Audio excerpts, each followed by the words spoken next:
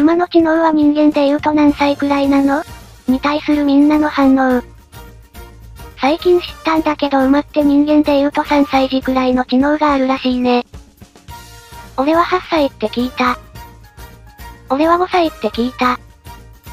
記憶力は抜群に良いらしいな。一度見たり経験したことは死ぬまで忘れないという話はよく聞く。ゴールドシップなんかはもっと頭良さそうに見える。男子小学生みたいなムーブ山ほどしてるし。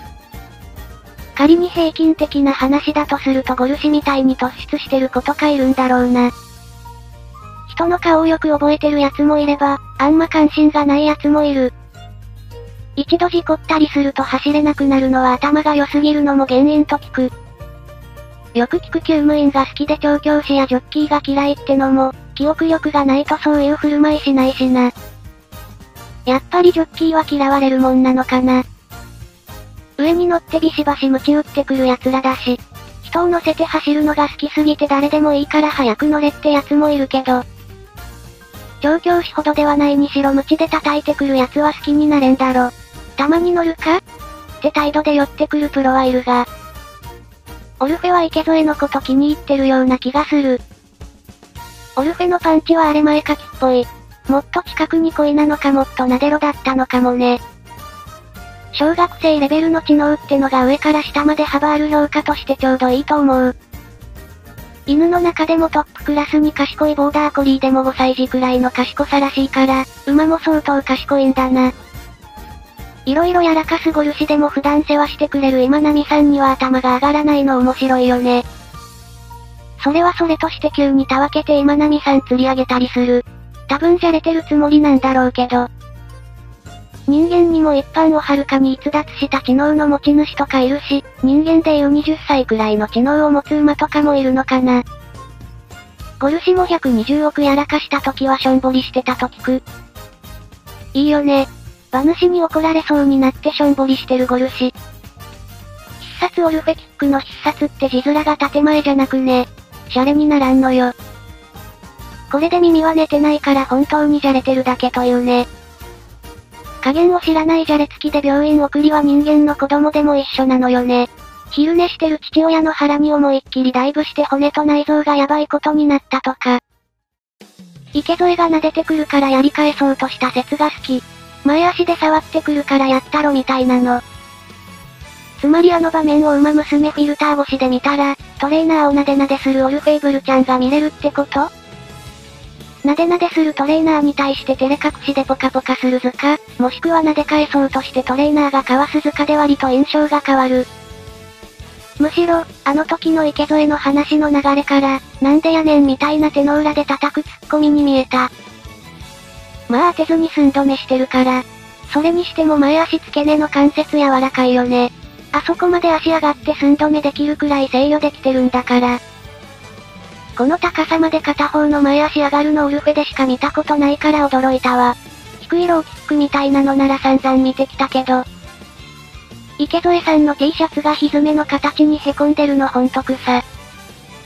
気の毒だけど爆笑してしまった。先日の竹さんの怪我した時の動画見ると、軽くお出しされたオルフェキックでも十分な破壊力ありそうなんよね。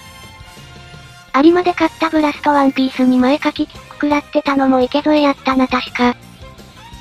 3歳ってイヤイヤきじゃん。おいキリアーなの。状況やーなの。一体何育東証なんだ。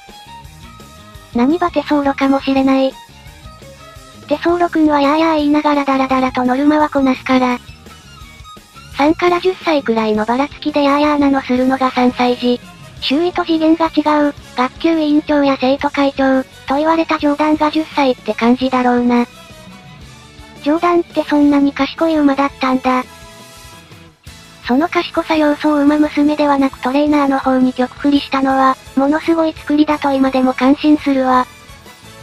ゴルシが加減知らなくて今波さんを病院送りにして、なんでいなくなったんやって暴れてたところに、今波さんが無理をして説教しに来た話すこ。その説教のおかげで他の救務員の言うことをしぶしぶながら聞くようになったのは、自分がやりすぎたことを理解したからなのか。ゴル氏は今ナミさんと再会した時の表情とか見る限り、小6くらいは余裕であると思う。ゴル氏は舌を出す行為は人を馬鹿にする表現だというのを理解してるらしいな。下ペロ煽り走りをするようなやつだし、完全に理解してるでしょ。内パク男泣き。ゴルシー7区。ノリさん、走ってくれるのが普通なんですけどね。ゴルシー7区。ノリさん、はい。見学園児たち、バイバイ。白いあれ、大またな。白いあれ。白いあれ、おいゴルアスタッフ、どういうことじゃファンサはきっちりやりきるのがさすがエンターテイナー。後ろ足だけで立つのは暴走の前兆なので警戒すべきなんやが、ゴルシはこれやると受けがいいことを分かっていて子供たちの前でよく見せるらしい。スタッフも分かっているから慌てない。なかなか稀有な存在やで。ケンバハンスの逸話なんか読むと人間の反応、場の雰囲気を読むのが抜群にうまかったって話なので、逆に人間見てわがまま言ってみたり、おちょくってみたりする子がいるのも納得がいくわな。賢いのと従順なのは別だしな。